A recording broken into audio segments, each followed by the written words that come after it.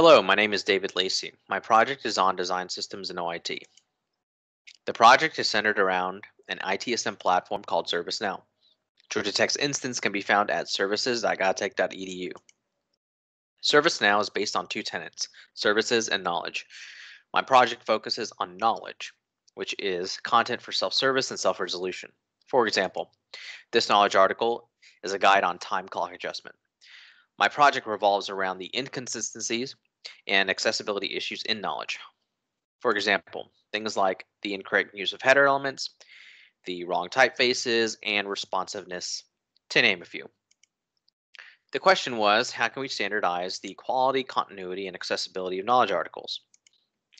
My formative research started with contextual inquiries. I met with knowledge contributors to understand their existing pain points and processes.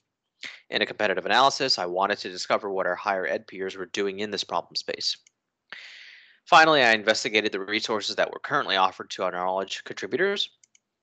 In my design process, I started with an analysis of design systems. My next question was, can we take the design system framework that was originally intended for designers and developers and adapt it for an audience that may be less technical? So next I wanted to compare design systems. I reviewed eight popular design systems and created a basic wireframe. This would be the premise of my first prototype. Next, I hosted usability testing sessions with two group sets, a group who was seasoned in knowledge creation and another that was not exposed. Some tasks were more difficult than others.